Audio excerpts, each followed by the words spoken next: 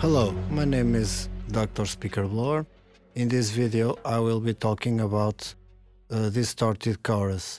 This is a plugin I made inspired in the effects with the same name in the hardware sampler from EMU 6400 Ultra from the 90s. So this is not a copy, this is not an emulation, this is a true original effect. There is this back view with some info and then there's this controls in the front panel.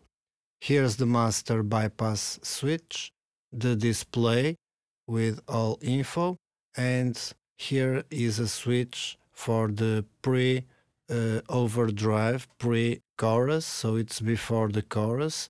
Input signal starts here, then the usual controls for chorus, the LFO rate that is detuning the incoming signal, the pre-delay, this is the uh, delay of this detuned signal in relationship to the original, the depth, how much you want to detune, and distortion is post chorus so uh, you cannot uh, use it uh, before the chorus.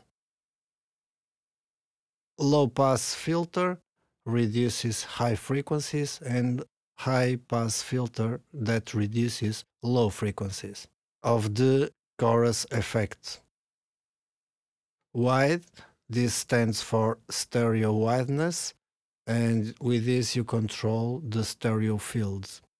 The mix knob controls how much uh, original or chorus signal you want to uh, exit in the audio chain and the output master knob controls the final level. So very easy plugin, very easy to use, very intuitive so let's listen to the sound. I'm going to use these uh, files of bass. They are all different and I'm going to use first the same settings for the uh, the, the all basses and then I will work more detailed in one different file. Let's go.